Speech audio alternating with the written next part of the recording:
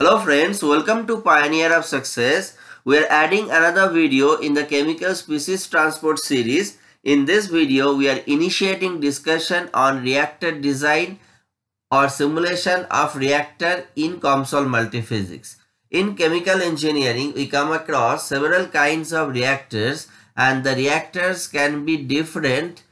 It can have different characteristics and in order to design a reactor, perfectly you need to understand about the reaction that goes on inside the pattern of the reactor whether it has a catalytic particles whether it has a bed of particles whether it's a purely homogeneous reaction or a non-homogeneous catalytic reaction. So every aspect is important. So for designing any kind of reactor initially you need to know about the design of the vessel. You need to know about the chemical reaction that goes on chemical reaction kinetics catalytic rate everything is important and that's why this is a complicated chemistry. So let us just go ahead.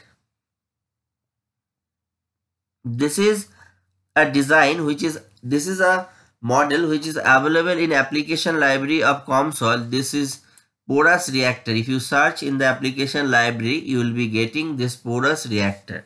So we are thinking that we should start with a module which is already there in COMSOL. Then I will try to design all reactors not all the reactors the special kind of reactors like plug flow reactor or mixed flow reactor CSTR or whatever. So in this kind of reactor which is porous reactor what are the physics necessary? So initially they have taken chemistry. So you can understand why chemistry is important. Because in a reactor there might be multiple chemical reactions going on at a time. So you actually have the provision of enlisting all the chemical reactions under the chemical chemistry option. This is the physics the name of the physics is chemistry. So here you can see they have noted down all the reactions and the parameters. That means the rate constants or and other parameters. If it's a reversible reaction then it has forward rate constant it has backward rate constant. Like the way you can say this is a reversible reaction. So they have defined kf that is the forward rate constant the backward rate constant. Overall rate of the reaction is uh, is defined as this. Uh, you can see this is kf forward reaction rate constant. Uh, this is the multiplication symbol. That means if you have n number of components say c1 c2 c3 so multiplication of c1 into c2 into c3 and we actually know these things are experimental matter. That means chemical reaction kinetics it comes from the experimental observation. So if you know about the reaction then you can know about the reaction rate rate constant and everything. And from those known parameters you have to define it under the chemistry option. So this is a reactor wherein the hydrogen evolution and uh, and the reaction between hydrogen and oxygen goes like if, if you see here. So on this particular surface what's happening? This is H2O on rhodium surface. It is giving you adsorbed H2 that means you have a cata catalyst and if you put uh, water on top of that then the water molecules may be embedded on that catalytic surface so if this particular process also has some reaction rate kinetics, so they have taken for this. If we look into some other reaction like this one, if you, you, can see uh, this is a reaction between OH, maybe it's a radical and the H radical which is giving rise to H2O on the rhodium catalytic surface. So you can see when uh, inside a reactor there might be multiple steps happening and if you know about those steps clearly then you have the option to enlist those properties. So our target is not to understand this particular chemical reaction which is given in the porous reactor of COMSOL multiphysics but to understand which are the way what are the ways by which we can define a chemical reaction or a chemical reactor. So this particular physics which is chemistry uh, is taking care of the several reactions that goes on inside the reactor. So once we define it, then we go for, so what's happening? This is not only the chemical reaction that takes place inside a reactor.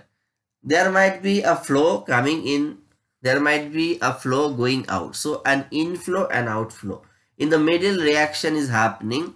So this inflow and outflow, that physics also we need to take care of and that comes from this TDS that is transport of diluted species in porous catalyst media. So this physics is available in COMSOL as this is a I mean this is a this is a reactor and a porous catalytic reaction is taking place. So in COMSOL there is an inbuilt option of porous catalyst. So they have taken this particular option but Today I am not going into the details of the equations because in all of my videos I emphasis on chemical uh, on the equations but today we don't have enough time to discuss about each and every equation because there are multiple equations in enlisted but i'm just trying to initiate the discussion and from from the upcoming videos we'll be taking several cases and we'll do different case studies so that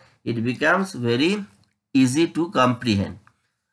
So they have taken porous catalyst. So this is the part, I mean, in a reactor, there might be a particular zone where the porous catalyst is kept. So you have to define this particular zone. If you see, they have actually defined the catalytic portion.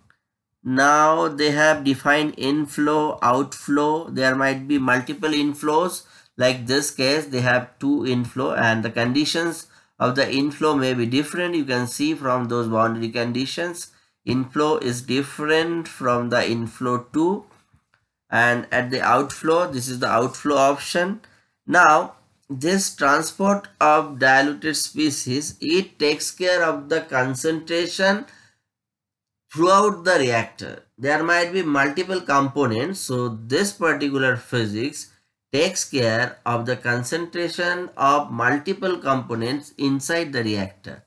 But there is a flow associated with it, but this flow is not very similar to normal laminar kind of flow because the flow is happening through the through the porous media. So for that, in order to model porous media flow, we need an appropriate physics and for this case they have taken Brinkman equation.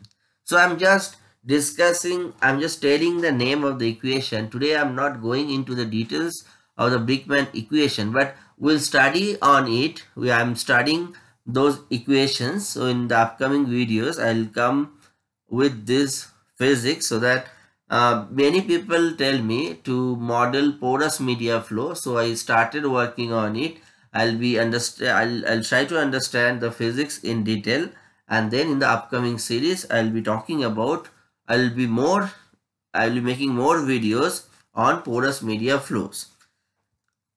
So today uh, if we conclude the discussion so in a chemical reactor there are three things one is there is a flow happening then the flow may happen through the catalyst bed and for that we need uh, a physics which is coming from say Brinkman equation. For the concentration of different components inside the reactor we need chemical species transport along with the porous catalyst that has been taken. And in order to define the chemical reaction rates and all we need to take chemistry physics. So these three physics are very important and obviously there will be multi-physics coupling because this Brinkman equation solves for the velocity and this velocity is needed here in the transport of diluted species. You can see there is a term velocity. So these two physics should be coupled and you can see in multi-physics they have coupled reacting flow. So Brinkman equation and the transport are connected with each other. So today it was an overview of chemical reactor design model and in the upcoming video will be coming ahead will be will be coming with different cases and the first case would be easier and then we'll keep on adding complexities into it so that you understand the reactor design properly